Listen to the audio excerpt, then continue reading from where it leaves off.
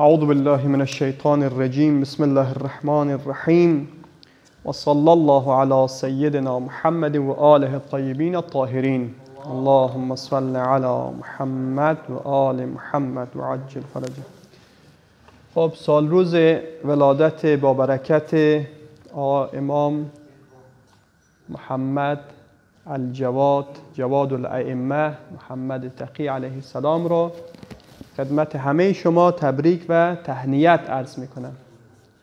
خب امروز که مصادف با دهم ماه رجب هست یعنی یک سلس ماه رجب تقریبا گذشت و همینطور به زودی دو سلس دیگه هم تمام میشه و اون استفاده می‌کند که از این روزها و از این شبها از این ایام و ساعات و لحظات با برکت استفاده کامل بکند.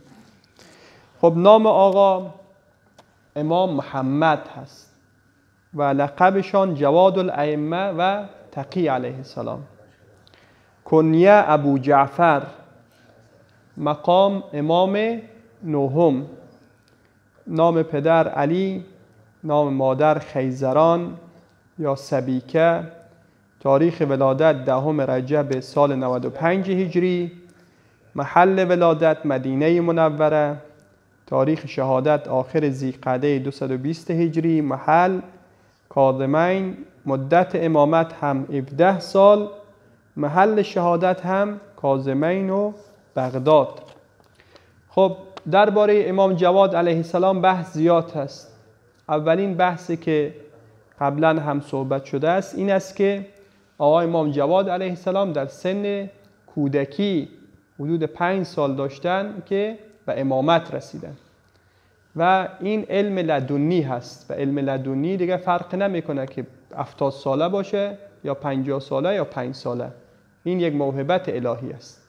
چنانچه عرض کردیم حالا بعضی از حافظین قرآن در سن سی سالگی، چهار سالگی، پنج سالگی حافظ کل قرآن میشه.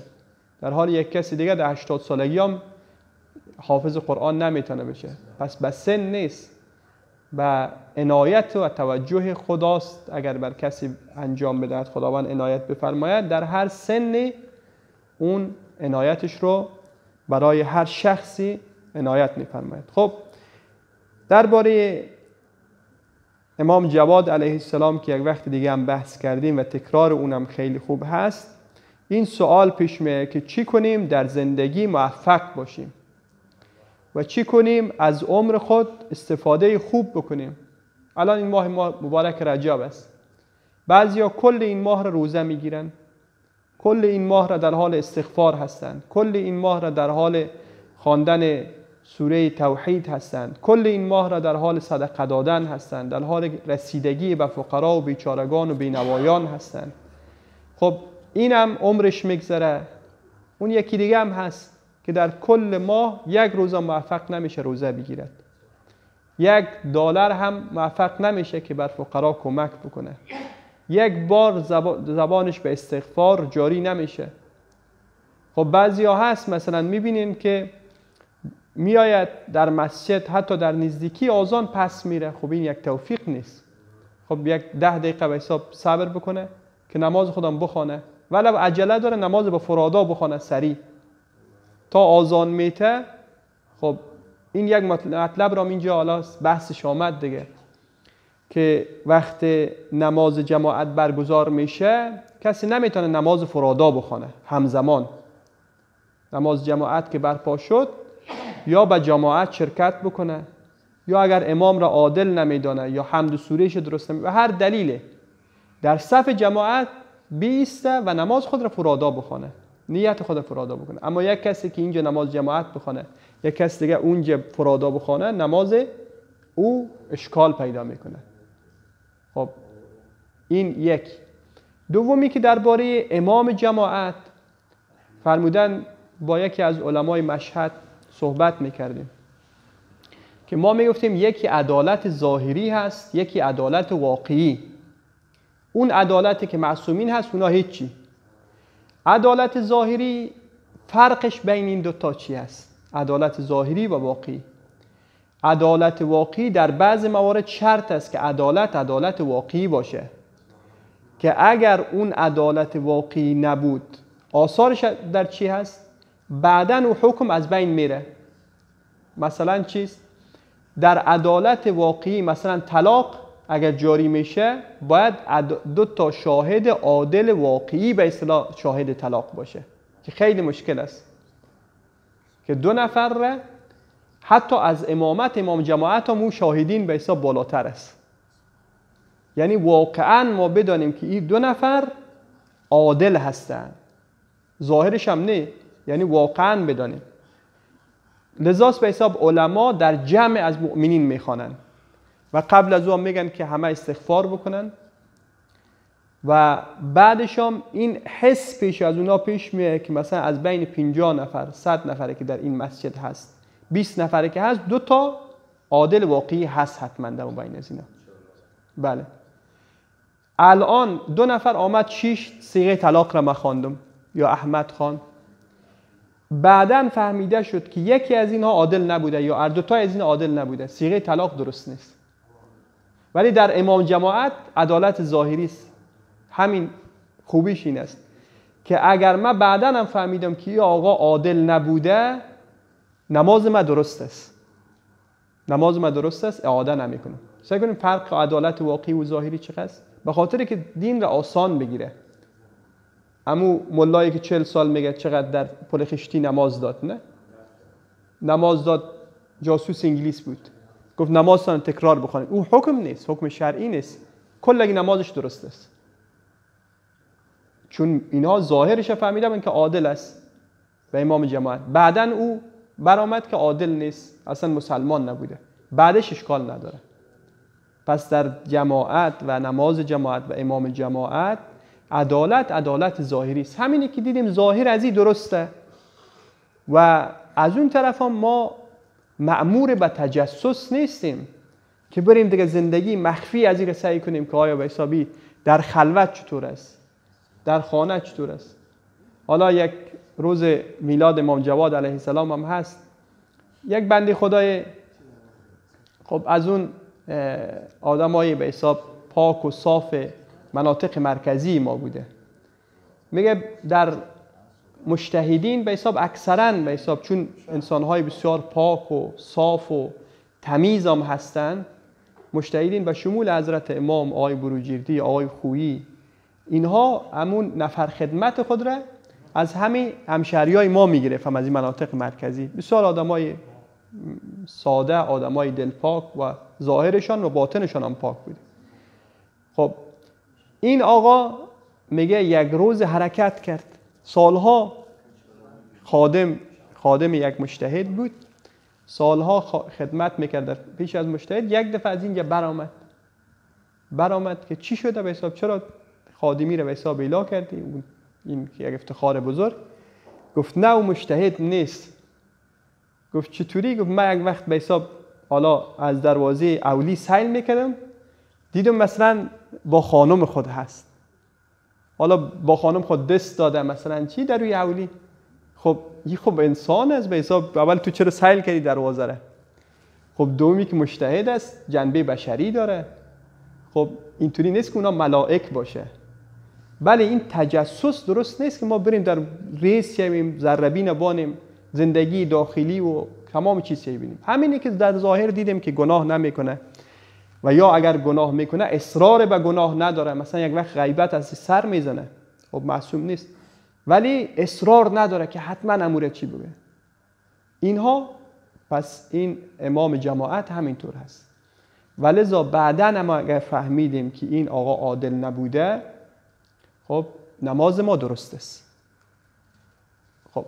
و از طرف دیگه هم حمد و سوره را که قاریا میگه او حمد و سوره را در شریعت نیست. که مثلا ضاد که گفتی ایره استطاله بته.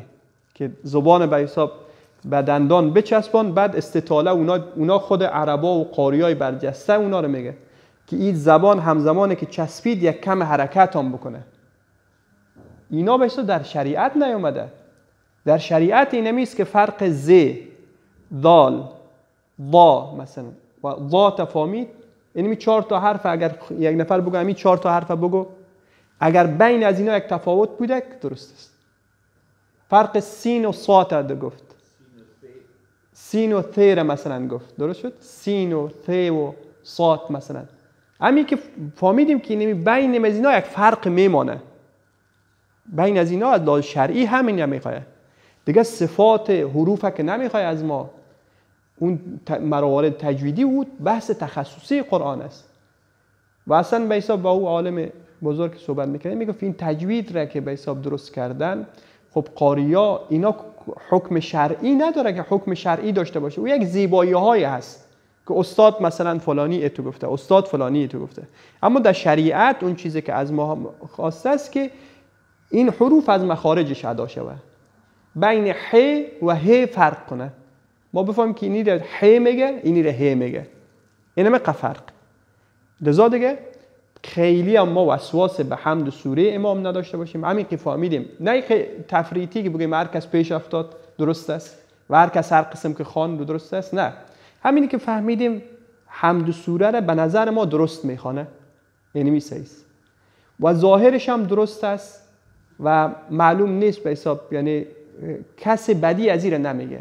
اینی می دو تا شرطه که داشت ما اون را می‌تونیم به عنوان امام جماعت پشت سرش نماز بخوانیم.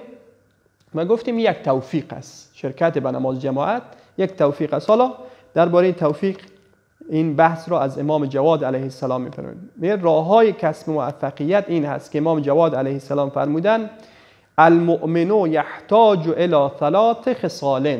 مؤمن به سه چیز احتیاج داره. یک توفیق من الله. عز وجل توفیق از طرف خدا. خدا اگر توفیق نته انسان یک میلیون دلار هم که داشته باشه نمی‌تونه کربلا بره نمی‌تونه حج بره. حال دیروز ما در دعای ندبه یک بنده خدایی گفت گفت من خیلی تمایل دارم که برم کربلا ولی بچه ها نمیمانند دوستا میگه میگه امی پول بته بر فقرا. ده ها باری گفتیم. با پول کربلا رو چطور شما گیر دادن به فقرا؟ چرا نمیگی که بابا به حساب این موتر مدل سی هزار است همین به پنج هزار بگی؟ پنج هزار دیگه جوانم نیستی؟ خب 5000 هم خوب موتر است. ما در یک و نیم هزار یک موتر گرفتیم چهار سال استفاده کردیم. خب با خانوادگی هم هفت نفران بود یک و نیم هزار دلار. هیچ جای هم استاد نشد. خب ما نمیگیم که کلگی مدل ولی اگر گیر میتین در اونا گیر بتین. که با مثلا تو یا مدل سی هزار سوار نشو امیر سه هزار سوار شو. بیست هفت هزار شبیت بر بله اینی هنر است. چند دفعه اینو بگیم اما از کربلا چرا مایه می‌گذاری؟ از حج چرا مایه می‌گذاری؟ خب بگو به حساب هفت نوع غذا مهمانی نمی کنیم دو نوع غذا می‌کنیم. فقط فقط به اصطلاح در کربلا و حج که آمد اینجا فقرا میایه در غیر از او دیگه نمیه بله ختم قرآن یک چیز دیگه هم هست که همین نکته عرض کنیم میگه الکلام یا جر الکلام. گپ گپ هم یاره نه اینطوری هم نباشه که کلا اینجا را فراموش کنیم بگیم ختم قرآن هیچ چیز نباشه ما کلش میتیم بر فقرا. نه اینم جمع شدن مؤمنین هم خودش شرطه. بله ختم قرآن می‌گیریم. ختم قرآن خود را مثل قدیم مثلا هفت نوع غذا دو نوع غذا پنج نوع غذا نمی‌کنیم دو نوع غذا می‌کنیم. یعنی همینجا باشه همونجا بتونی کلا ما فراموش کنیم. سره رحیم و همه چیز فراموش کنیم بگیم کلش بر فقیر افراط و تفرید نه. ختم قرآن خود را می‌گیریم.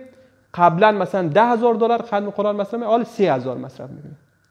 که هم این رسم بانه هم جمعیت بیایه هم تسلیت بگویه هم ما از او اضافاتش کم می‌کنیم. از او اضافاتش کم می‌کنیم. یا مثلا در, در مباحث دیگه. خب اولینش توفیق از طرف خدا هست تا انسان توفیق خدا نته انسان هیچ کار نمی‌تونه. نماز جماعت شرکت نمی‌تونه. حالی نماز جماعت آمدن به حساب که به فقیر کار نداره. که بگیم خیلی نماز جماعت نرو از او که برو پیش فقیر. خب اینها میفرماید التوفیق من جذبات رب از جاذبه های الهی این است که به انسان توفیق بده. من عنایتهی. خیلی حدیث داریم. از عنایت های الهی است که کسر خدا توفیق بده. لا ینفع اجتهاد الا بالتوفیق. هیچ تلاش و کوشش انسان به جایی نمی‌رسد مگر اینکه خدا توفیق بده. حالا بشینیم بگیم خدا توفیق بده بر ما. بعضی می‌تونی هست میگه. تا خودش نخواسته ما نمی‌تونیم. هیچ وقت امام حسین نمی‌خواه امام حسین هیچ کس نخواست و اگر حتی کسایی هم که آمده بود باش جواب داده شه شما دیدین در قضیه کربلا؟ هر کس به یک بهانه جواب می‌داد. برین به حساب بزن بچه‌تان برسین. برین با ما کار شما با شما کار نداره. امام حسین اینطوری نیست که مردم بگه بیار بخوای. تا مثلا چی میگن که تا از جانب معشوق نباشد کششی؟ بله اینطوری نیست. تا خود انسان عاشق نباشه تلاش نکنه به هیچ وجه تا آخر عمرم که بشین امام حسین اینطوری نمی‌خواه. چنانچه امام حسین علیه السلام همه را جواب داد. بله اگر تو تلاش می‌کنی کوشش می‌کنی بله باز وقت امام حسین علیه السلام هم زمینش درست می‌کنه. زمینش درست می‌کنه. خب لذا این حالا چطوری ما بریم دنبال توفیق؟ بشینیم که خود امام حسین بخواه بشینیم که خود دل ما حرکت بکنه بیایم یک کسی ما رو نماز جماعت ببره یا بر فقرا اینها. میگد نه توفیق هم از خود شرایط داره. یک قسمتش در دست ماست. اینها رو که ما انجام دادیم خدا توفیق میده. حالا اینها چیست که من خیلی خلاصه بگم؟ دعایی که ما می‌خوانیم اللهم ارزقنا توفیق الطاعه. دعاست که چهل تا توفیق ما از خدا می‌خوایم این دائم باید بخوانیم باید حفظ بکنیم بر بچه های خود یاد بدیم. مرحوم پدر ما نمی‌دانم پنج ساله ما شده بودیم یا نشده بودیم قبل از پنج سالگی ما ایره به حساب بر ما دستور داد که ایره حفظ کنیم. اللهم ارزقنا توفیق الطاعه. از مسئولیت های ما در زمان غیبت این هست که اینها را بخوانیم حفظ بکنیم و بفهمیم که یک دوره ما چند سال پیش همین تشریح و تفسیرش ما کردیم. پس از خدا دعا بکنیم که خدا توفیق بده بر ما. دوم مثلا دعاهای دیگه است. اللهم ان انی اسالک التوفیق. دعای میره بگیم. خدای ما را توفیق نهایت بگه. یا حتی امام حسین علیه السلام میره کربلا. خالصترین حرکت هست. بازم میره قبر پیامبر گرامی اسلام میفرماید اللهم به حق هذا القبر. خدایا به حق همی قبر پیامبر را میگه. و من فیها و کسی که در مابین این قبر هست و فقنی لما تحب و ترزا مرا تو خودت موفق بکن که اون چیزی که راضی هستی اون چیزی که دوست داری من حرکت بکنم.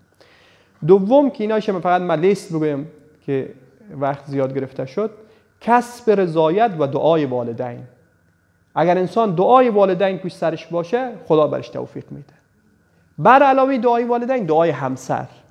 یعنی به خانواده و همسر اینقدر خوشحال نگه داره که اونها نه اینکه به حساب به گناه هم کارهایی که باید انجام بده. اونها همین که رضایت داشت خدا بر انسان توفیق میده. سوم تلاش و کوشش برای جلب توفیق.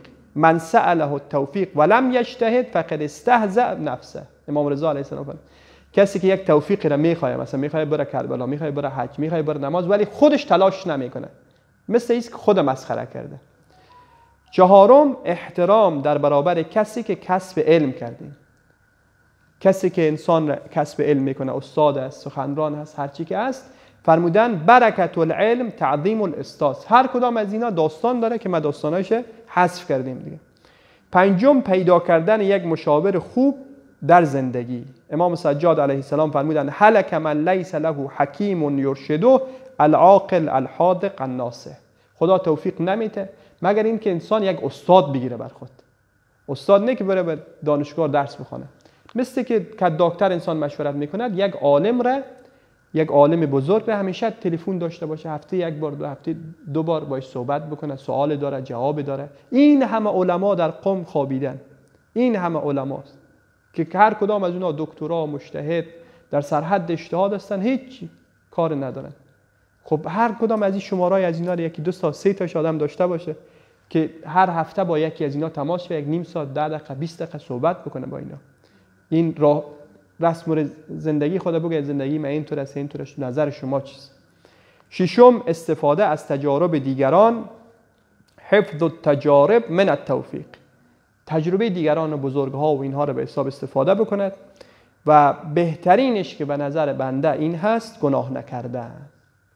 و مقدار که انسان گناه نکند اما قد توفیقش زیادتر میشه. خداوند انشاءالله این توفیقات رو به ما عنایت بگرداند.